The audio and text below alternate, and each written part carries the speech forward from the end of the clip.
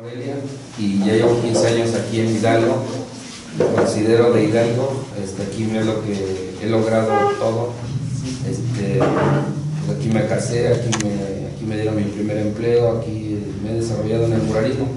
En, desgraciadamente en Michoacán no he pintado muchos murales, he pintado en secundarias, pero aquí es donde me he desarrollado plenamente. Entonces pues le debo mucho a Hidalgo, le debo mucho a los amigos y me parece que aquí en Pochi, que es de donde se originó la colonia Morelos, eh, aquí en Pochi tiene un, toque especial porque la gente es muy solidaria, entrega todo y pues da hasta, eh, a veces en ocasión nos da, en lo personal me da pena no dar mi máximo esfuerzo porque ellos entregan todo. Entonces eso nos impulsa a, darles a ellos, a darle a la comunidad a la gente, a los niños de la secundaria, de la primaria, a, todas las personas. Entonces, me parece que aquí se ha logrado hacer un, una, un, un, embone muy bueno, una, mezcla de comunidad con muralistas. Y realmente el muralismo, lo hemos visto, es, un fenómeno que, que ha, este, ha permitido ser amigos en la colonia Morelos fue un fenómeno social allá. Empezamos a hacer encuentros, empezamos a hacer murales, pero la misma gente empezó a solicitar. ¿Dónde, ¿Cuándo se realiza el otro encuentro? ¿Cuándo, cuando vienen? Ya no han venido, los extrañamos. Entonces me parece que aquí en Pochi también se está dando ese fenómeno y no dudamos que va a ser la segunda ciudad mural aquí en, en Pochi y para beneficio e impacto de, de, la, de los niños y los jóvenes. Este, esta escuela de muralismo, pues aquí se ha canalizado el anhelo de, muchos de los compañeros del equipo de los muralistas y es una encomienda que le dejaron a Siqueiros, que Siqueiros más bien dejó a, Alberto Híjar. Alberto Híjar es su, su, este, cronista, es escritor, es crítico de la vieja guardia junto con Raquel Tibor, con Rita Eder. Este, en su lecho de muerte nos platicaba el maestro Alberto Hija, que es un señor ya grande, muy respetable, muy preparado, el maestro Alberto Hija, y nos decía, cuando yo estuve en el lecho de muerte de Siqueiros, me encomendó la escuela. Dice, no, pues me encomendó la tallera, todavía aún más, la tallera que, que él había construido un inmenso este, domo en donde era su casa, ahí vivía y ahí también producía murales. Le llamaba tallera porque la, la tallera paría murales para el mundo. Entonces le, dijo este, Siqueiros, eh, Alberto, tienes tú que darle esto a los jóvenes. Ese es mi legado, ese es mi... Y se tomó nota y dejó su, testamento. Donó, ahí está escrito, donó en la escuela a los jóvenes.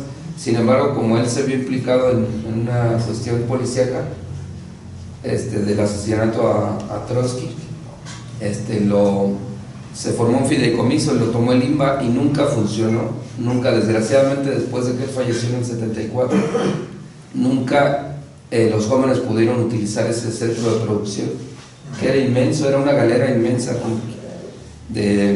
tenía todos los departamentos, fotografía, producción, este, nibladoras, dobladoras, este, soldadoras, y todo era un taller, era una fábrica para hacer murales, pero desgraciadamente todo se echó a perder, el óxido lo invadió y, no, no, se utilizó.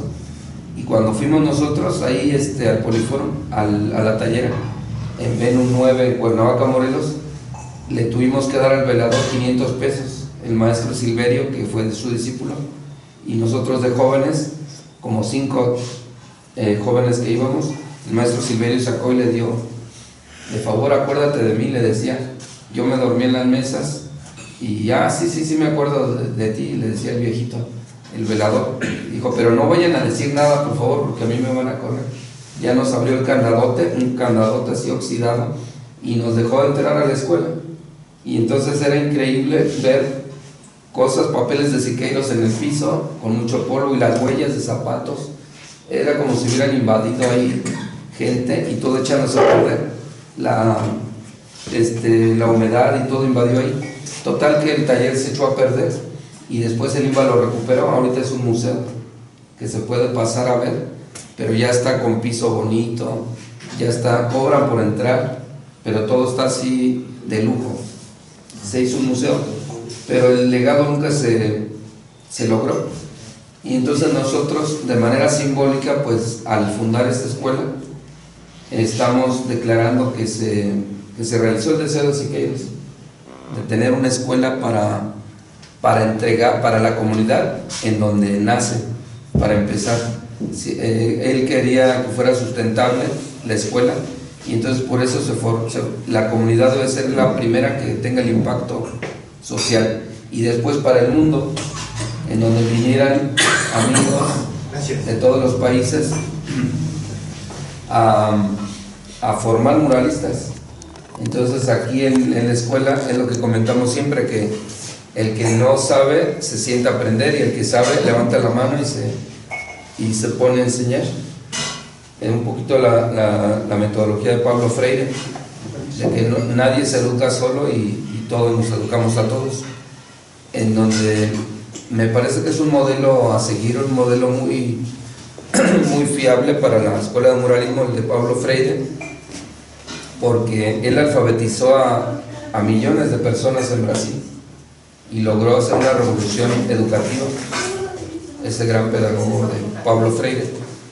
Y, bueno, la escuela se, se congratula y al recibirlos a ustedes, porque aquí quien levanta la mano y dice yo quiero dar un curso de algo, adelante. Y quien dice yo quiero aprender, adelante, hay sillas o hay pizarrón para enseñar y aprender. Y bueno, estoy muy emocionado que estén aquí, este, vienen cansados de hacer un viaje que es desde Argentina y realmente nos hemos hermanado con Argentina por, a través del, compañero Raúl Orozco, que nos ha demostrado que es una gran persona, que es un, un líder y que, y que me parece que la labor que él hace no la realiza nadie, no la podría hacer nadie, porque nosotros estamos enfocados a, a producir y él es gestor, entonces me parece que él no, es pintor, pero Eduardo Orozco es, es un gran eh, gestor cultural. Y pues bueno, bienvenidos. Ya extendí mucho mi presentación, pero este, muy emocionados y pues siéntanse en su casa. Muchas gracias. Gracias, gracias.